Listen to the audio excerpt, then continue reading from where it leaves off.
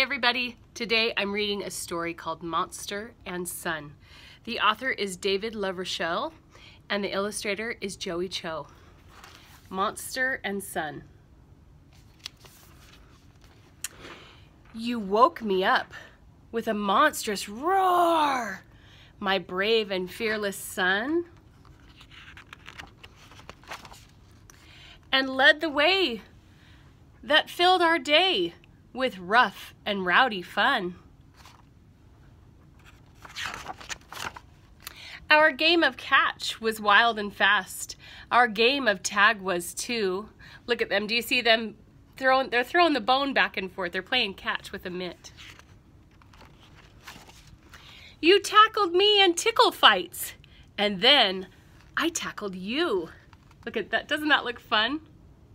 Do you guys like to get tickled? I'm so ticklish. I don't like to get tickled.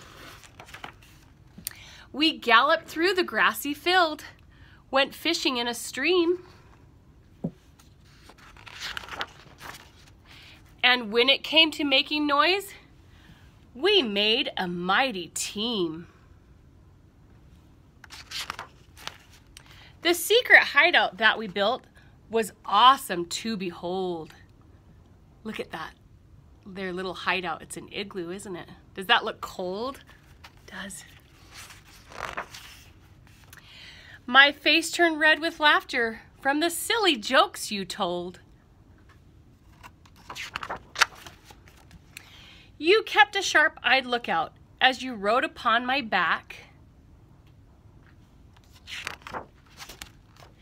We worked up a mammoth appetites and gobbled down a snack. Looks like they're camping, doesn't it?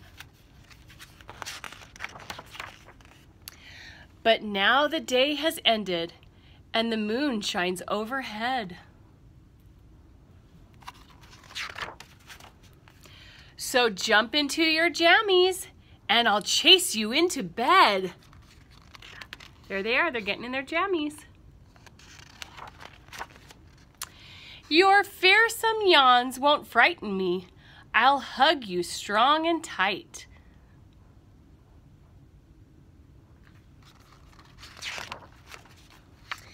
Then gently tuck you into bed while whispering, good night. They go into bed? Look at, is he upside down? They're upside down, aren't they? The end. Okay, we'll see you next time.